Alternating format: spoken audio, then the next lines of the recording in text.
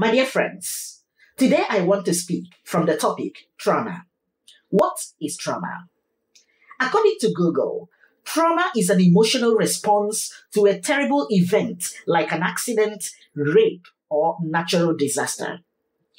In my own opinion, trauma is how we react to things, events, tragedies, and experiences of life.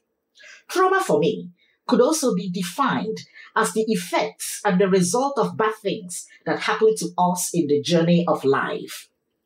How we are impacted by things we encountered, experienced, and witnessed how we have been affected and how what we go through in life affects us on both short term and long term basis. For me, these three definitions above reflect and suggest how I personally understand trauma. What causes trauma? There is no smoke without fire. There is no effect without a cause. So therefore, trauma does not just surface. There are causes of trauma. There are things that give birth to trauma. There are experiences, events, tragedies, circumstances that can bring about trauma. What people see, witness, hear, experience, smell can cause them trauma. Trauma can come from interpersonal relationships. Trauma can come from our daily relationships and interactions. Other causes of trauma include bully, rape, abuse, both physical and sexual abuse, accident, road rage, domestic violence, mass shooting, violence, natural disasters like typhoon, hurricane, blizzard, earthquake, tsunami, loss, death of a loved one, divorce, sickness or illness, and indeed other things. There is what is called re traumatization. Now, people could be traumatized again and again by multiple factors. Same things, people, situation, and experiences could traumatize a person multiple times. Trauma could be reignited by a repetition of the same event, experience, or circumstance. Already existing trauma could be triggered. There are buttons that could be pushed that has the capacity of re-traumatization. For example, when a woman suffers domestic violence from her husband, seeing violence, may, maybe in a movie or in actual life, could bring the trauma back. Another example may be a female lawyer or attorney who was sexually abused as a child could experience re traumatization when handling a legal case of an abuse of a minor re traumatization, unfortunately, happens over and over again because we are beings that recall. We remember, we forgive, but we don't forget. We have memories, and therefore, every now and then, we see or hear things that made us look back at our experiences and journey. What are the effects of trauma? Trauma affects how we behave. Trauma affects how we live. Trauma affects how we relate to people. Trauma can affect relationships. Trauma can affect how we see life. Trauma can affect our self esteem. Trauma can cause us anxiety and panic attacks. Trauma can lead to anger. Trauma could lead to depression and suicide. Trauma could make people lose trust. Trauma can have a long term and short term consequences. Trauma could lead to hate. Trauma affects people's choices and decisions in life. Trauma could make people build walls around themselves. Trauma could make people insecure and defensive. This is why we should not judge people because we do not know their story and how they ended up behaving the way they do. We have to be patient with people, try to be more understanding and compassionate. People don't just do things from a vacuum. There is always a cause and a reason behind the why of people's actions. When looking at people, take into consideration their past experiences. People's past plays a very big role in their present. Be caring enough to know, to inquire, to ask questions, and to probe. We don't have to be nosy or appear to be interested in people's personal or private lives, but asking questions like, Help me to understand. Let me know where you are coming from. I want to know more if you don't mind. Tell me more about it. And related or similar questions. How do we deal with trauma? Number one, treatment. Seek treatment from professionals within your area. Number two, medication could help in dealing with trauma. Do not self medicate. Seek the help, guidance, and direction of professionals. Number three, counseling. Go for counseling. Number four, seek help. Realize the fact that you need help and have the courage to ask for help. Seek help.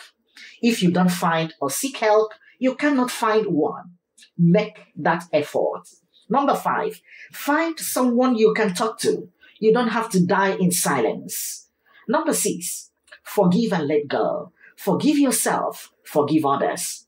Number seven, you have the power the freedom and liberty to choose how you react to the trauma.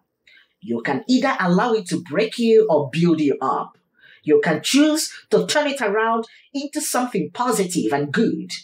Your trauma could be your stepping stone to greatness, success, and fulfillment. For people of faith, I will suggest prayers. Prayer is powerful. I believe in the power of prayer. One small prayer could make a big difference. I never underestimate the power of prayer. God is more powerful than any trauma. Nothing is impossible with God.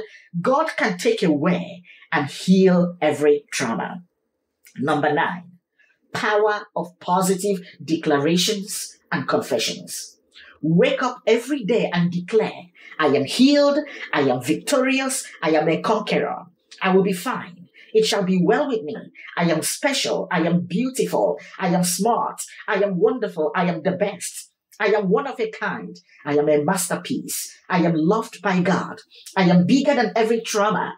I will make it through. I will succeed, and so on and so forth. There is power in the tongue. Declare it with your mouth, and it shall come to pass. There is power in the spoken word. Speak life into your life. Speak blessings unto yourself. Speak positive words about yourself. Shun negative words from your mouth. Stop replaying negativity in your mind.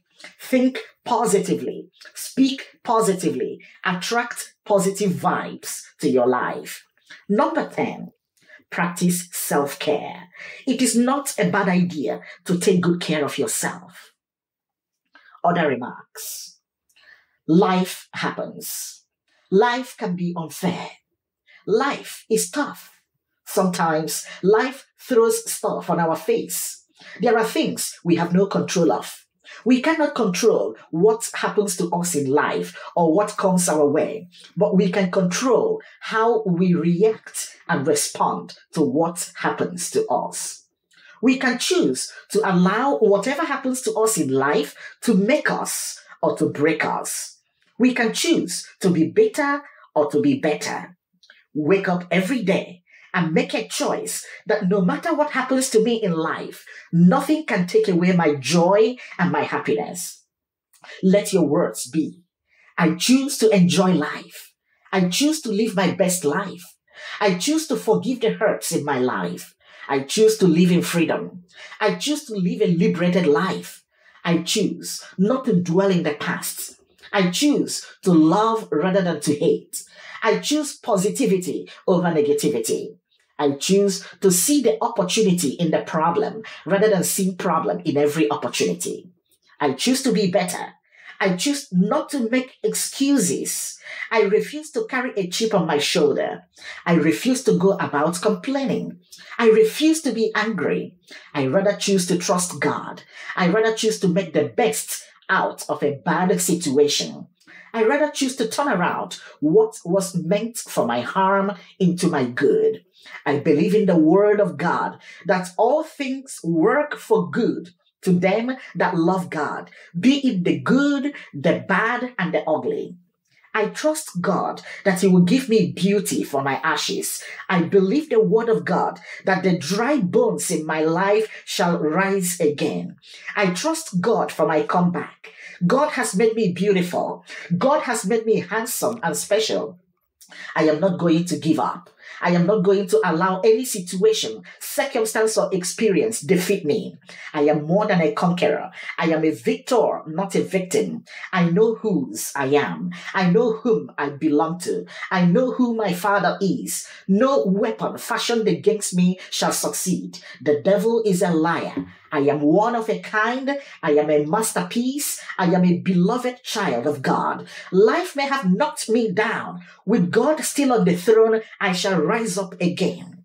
It has not come to stay. It has rather come to pass. If I can go through it, I will get through it. It is only temporary. This is not how my life will end.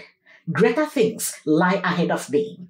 What is before me is bigger, better, and glorious. My past may be dark, but my future is filled with light and brightness. I choose to keep hope alive. Because my God lives, I can face tomorrow. Even in my struggles, I will still honor and praise God. I will continue to worship and serve God, even in my own struggles and pain. I choose to help others. I will never repay evil for evil. I will repay evil with good. I accept whatever God allows to happen in my life. I will use my situation, condition, and circumstances to honor God. I give it all to God. He knows how to use it for my good. If it pleases God, it pleases me as well. I can never be mad at what I cannot control. I don't want to live a stressed life. I don't want to be under pressure.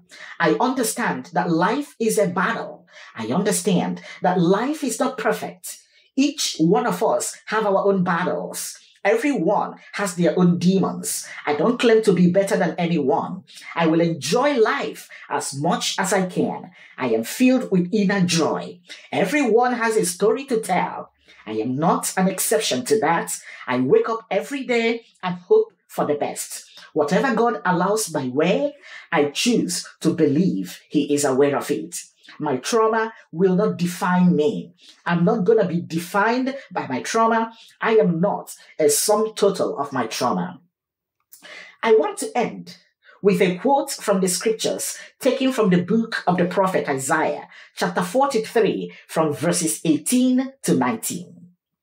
Remember not the former things, nor consider the things of old. Behold, I am doing a new thing. Now it springs forth. Do you not perceive it? I will make a way in the wilderness and rivers in the desert. Once again, a quote from the scriptures taken from the book of the prophet Isaiah, chapter 43, from verses 18 to 19. Remember not the former things, nor consider the things of old. Behold, I am doing a new thing. Now it springs forth. Do you not perceive it? I will make a way in the wilderness and rivers in the desert. Thank you for listening, and may God bless you.